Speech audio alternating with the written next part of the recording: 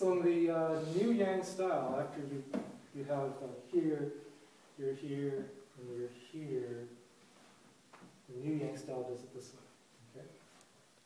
Old Yang style, after you're fan through back here, here, we have these movements here.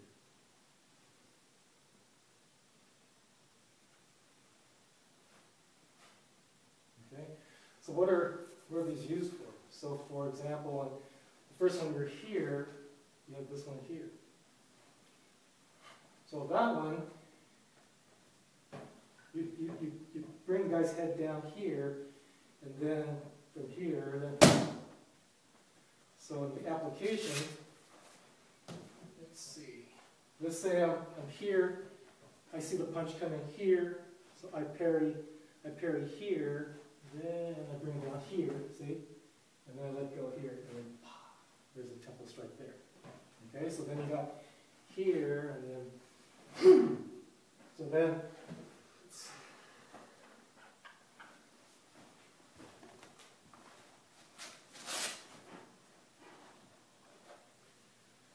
So you got the concept of the head's pulling your arm down here, your head's here, and then I let go of the arm, and then come back here. So then you have in the form here, so that you hit the guy's temple, then the side of the head is then here, and then if he throws a kick, kick or something, this movement here, so you pop, pop, and then.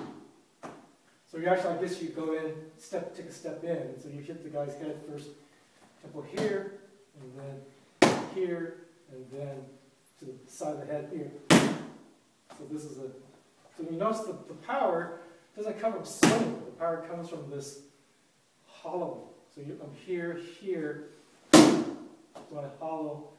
That could also be used against an uppercut. You got throwing an uppercut there. So you, yeah. So, so you've been hit once with this one.